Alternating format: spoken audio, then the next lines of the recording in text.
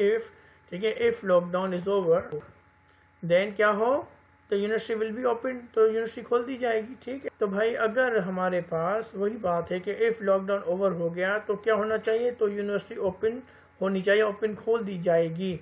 तो अब आपने कहा कि यस सर बिल्कुल। हमने कहा कि भाई, ये जो हमारे पास स्टेटमेंट है, उसके ट्रू होने से क्या होगा? उसके ट्रू होने से जो है, वो ये वाला ब्लॉक चलेगा। ये वाली बात जो है, वो एग्जीक्यूट हो सकेगी हो सकेगी पॉसिबिलिटी बन जाएगी इसकी, ठीक? तो हमने कहा, ठीक है। तो हमें अब क्या करना है? क्योंकि हमें ये प्रोग्रामिंग पे करना है तो हम क्या करेंगे? हम इस लॉकडाउन को क्या कर देंगे? ये लॉकडाउन और बेसिकली क्या है? ये बेसिकली कंडीशन है ना?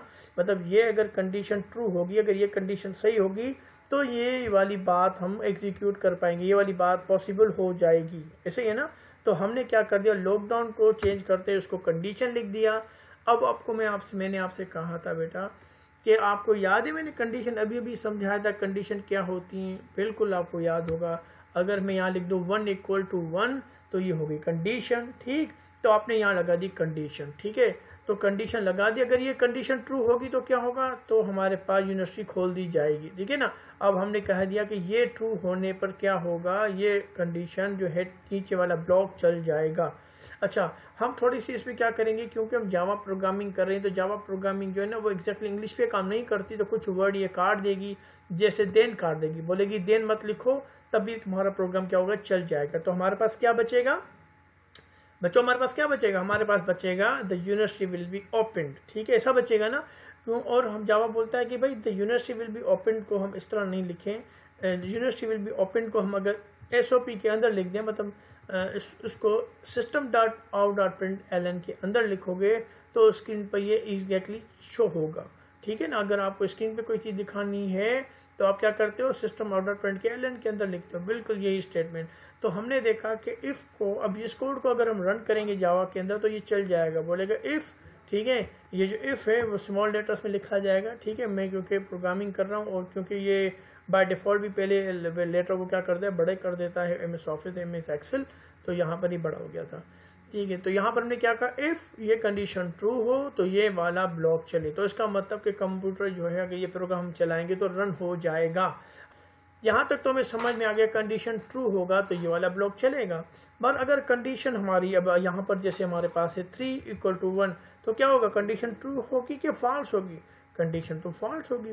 भाई, अगर कंडीशन फॉल्स होगी तो डेफिनेटली ये स्टेटमेंट तो नहीं चलेगी ना, ये ब्लॉक नहीं चलेगा। ऐसे ही ना, ये अगर कंडीशन हमारे पास फॉल्स हो जाएगी तो ये कंडीशन नहीं चलेगी। लॉकडाउन खत्म नहीं होगा तो यूनिवर्सिटी तो नहीं खुलेगी। तो मतलब क्या है कि ये ब्लॉक तो हमारा फॉल्स हो गया तो इसका मतलब ये ब्लॉक हमारा नहीं चलेगा। तो अब ये ब्लॉक नहीं चलेगा तो भाई क्या चलाएँ? क्योंकि हमें चाहिए इसका कोई ना कोई जवाब। तो हमने कहा कि इसका भी जवाब है, ठीक है? अगर नहीं चले तो जवाब में आ जाए यूनिवर्सिटी नहीं खुलेगी। ठीक है? क्या जवाब में आ जाए? यूनिवर्सिटी नहीं खुलेगी।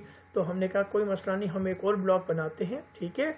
और उस ब्लॉक के अंदर लिख देते हैं एसओपी के अंदर सिस्टम आउटडोर प्रिंट के अंदर के अंदर, लिखते हैं university will not be open आपने कहा, सही है।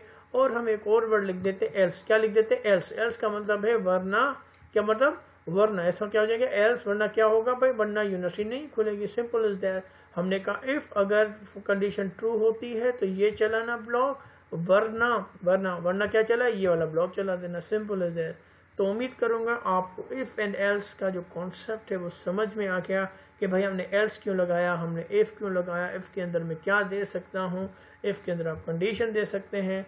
तो अगर मैं आपसे कहूँ कि बेटा ऐसा मुझे प्रोग्राम बना के दो जिसमें अंदर कंडीशनल ऑपरेटर यूज़ करो तो यहाँ पर आप कंडीशन इस्तेमाल करते जाओ, यहाँ पर आप कंडीशनल ऑपरेटर इस्तेमाल करते जाओ, जो भी मैंने सिखाए हैं ग्रेटर हो गया लेस देन हो गया इक्वल हो गया नॉट इक्वल टू हो गया, ठीक है ग्रेटर देन इक्वल हो गया लेस देन इक्वल हो गया, सारे इस्तेमाल करो और जो है, इसकी प्रैक्टिस करो कि जैसे आपको इफ़ जो है, उसका कॉन्सेप्ट दिमाग में बैठ जाए।